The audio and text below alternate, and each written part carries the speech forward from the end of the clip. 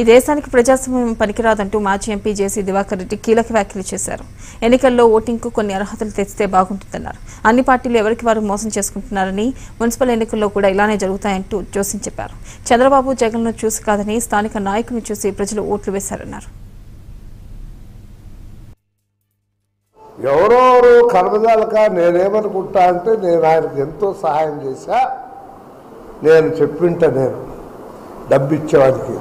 ఆయన ఇంట్లో మీరు డబ్బు ఇవ్వాల్సిన పని లేదు. ఆ పక్కింట్లో ఇవ్వండి ఆయన కొడుకు ఉద్యోగం ఇప్పించాము అన్ని విధాలా ఆయనకు ఆదుకున్నా.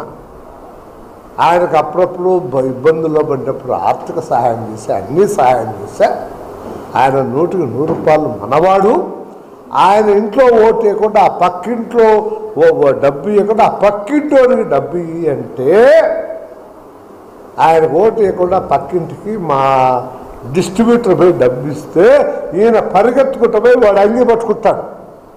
ఏమయ్యా మా ఇల్లు మర్చిపోయినావు? మాకు ఇంట్లో డబ్బు ఇవ్వకుండా పక్కింటోనికి ఇచ్చిపోతాడు.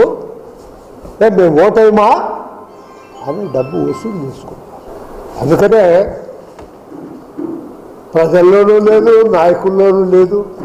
ఎవరో ఒకంతో డబ్బు తీసుకుంటున్నారు అని అంటే ఐ కెన్ అండర్స్టాండ్ ఎంతమంది నిలబడితే అంతమందితో డబ్బులు తీసుకునేటప్పుడు ఎక్కడ ఈ పోటీ?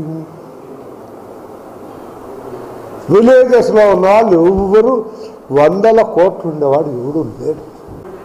ఎవరెవరు కనబదాలక నేనేమనుకుంటా